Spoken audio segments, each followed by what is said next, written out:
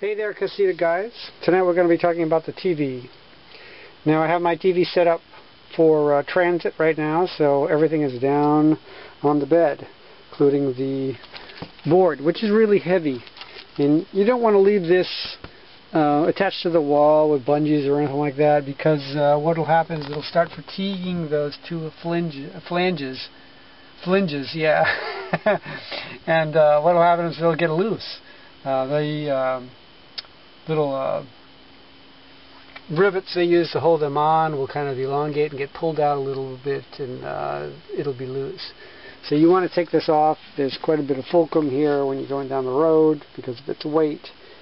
Uh, here you can see I have my 24-inch ViewSonic LCD TV and I also have a uh, up converting uh, Sony DVD uh, player. I, I, like this a lot better than the uh, one that comes in the TV. It does a much better job because it up converts all my DVDs.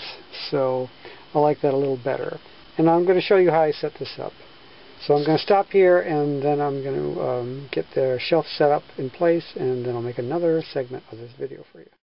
Okay, so the first thing I do is I set up my table and as you can see underneath here I use these little bungees here to go from the top underneath the table down to the little holes on either side of the little strut clip there. And I do that just so there's a little extra retention here on this thing. In case I kick it, it's not going to come out as easy. You know, because, uh, um, you know, you don't want this coming out, especially when you have your TV on it. So uh, that's step one. Okay, so the second thing I do is I put on my uh, surge strip here with the surge protectors. And that, of course, is connected up here and this also has the uh, antenna coming in have that running through a surge as well and then that's going to the TV which is still down here. And I've also made this a lean forward ramp here. It's about a uh, 15 degree slope. And uh, I'm doing this so it's at the proper optimal viewing angle when I'm sitting in bed so that it's it's not you know it's not pointed flat. It's angled at me so it's a little more comfortable to look at. So as you can see I have that in place. So now we're all set. Uh, we have the TV laying down here still and I'm just going to put the TV in place. Okay, so we'll stop. Okay, so now you, you can see I have my TV in place and it's sitting on its uh, shelf there and the surge strip is in back of it which everything is plugged into. So the only thing we have to do now is to figure out where the DVD player is going to go. Hmm where are we going to do? it? What are we going to do with it?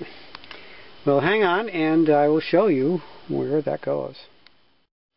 Okay, so here we can see that we have the TV all set up now. And, oh, look what's up here. Look, we have a nice little shelf. So what I did is I used these eye straps, which are used in the marine industry. You can see one there, maybe. And this is just a piece of a white coat hanger, which I've bent. So this allows me to make a shelf here and then I have this little black piece of plywood with little feet on it that creates my little shelf for my DVD player to sit on. And oh there's my DVD library right back there.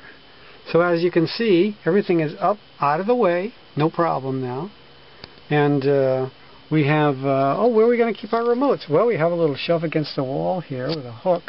And up oh, we have our remotes right here so that we can turn on our DVD player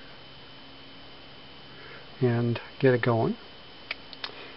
So, you know, I usually keep my power off, which, you know, which is back on the power strip, which gives you a little extra layer of security. So I just turned it on now. So we can open up the DVD player. Power it up.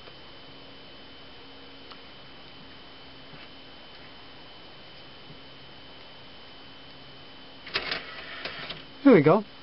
And now we're ready to watch a movie. So this is a nice setup. Uh, everything's out of the way. It also gives you a nice shelf here.